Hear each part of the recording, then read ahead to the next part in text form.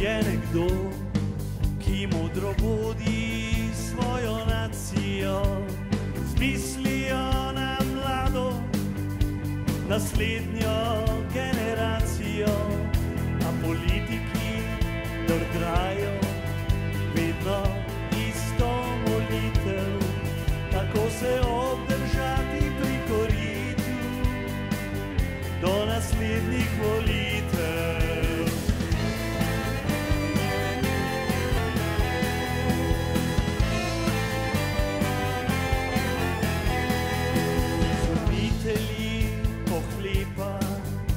So skriti v svojih dvorih, bivši menedžerji leta pa so v glavnem po zaporih. Zabavajo me večni mladinski funkcionarji, včeraj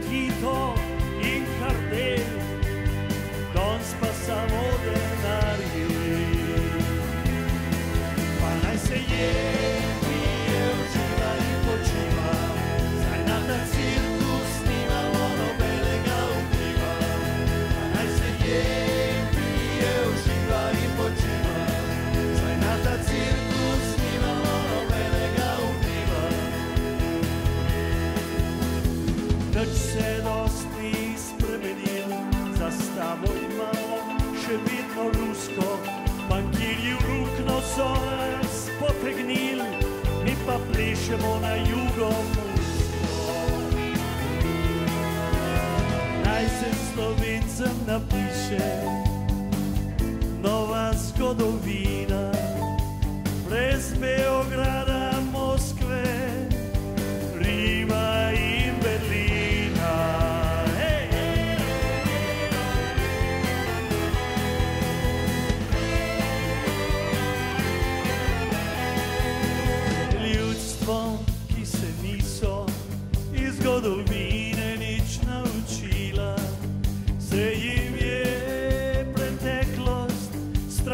hitro ponovila.